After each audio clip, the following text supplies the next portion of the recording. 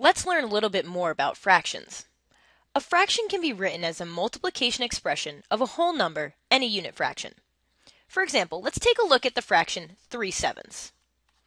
Now what we have here is a model, and this model over on the left-hand side represents 3 sevenths because this model is divided into seven equal parts, and three of those parts are shaded in. Now 3 sevenths contains three one-seventh pieces, right? Because if one of these panels is filled in of the seven, the fraction is one-seventh. And three of these combine together to make the fraction three sevenths. What you can do now is rewrite three sevenths as a multiplication expression. So you would have three times the unit fraction here, which is one seventh right? Because there are three one-seventh parts, and this is equal to three sevenths. Now let's explore what happens if you're multiplying a whole number by a fraction that is not a unit fraction. So in 3 sevenths, we were working with the unit fraction 1 seventh. Now let's see what happens when you're going to multiply by a fraction that's not a unit fraction. Okay, let's talk about the multiplication of the whole number 3 times the fraction 3 fifths. Now this is not a unit fraction because the numerator is not 1. So you can think of 3 times 3 fifths as a repeated addition sentence of 3 fifths added to itself 3 times.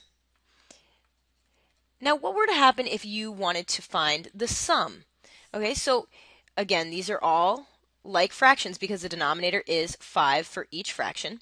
And what you would do then is add the numerators. When you add 3 to itself three times, you get 9. So 3 times 3 fifths is equal to 3 fifths plus 3 fifths plus 3 fifths, which is then equal to 9 fifths. Now let's take a look at this with a model. Here's the model for this multiplication.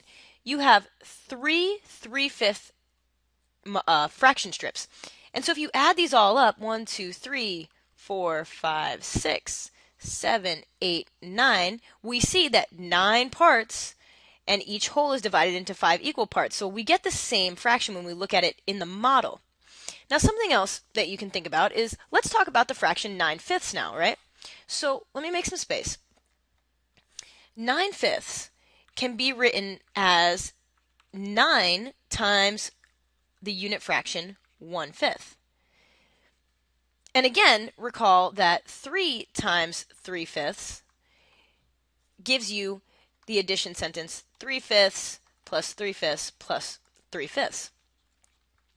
Now, when you want to multiply a whole number by a fraction, what you do is you multiply the whole number by the numerator of the fraction and keep the denominator the same.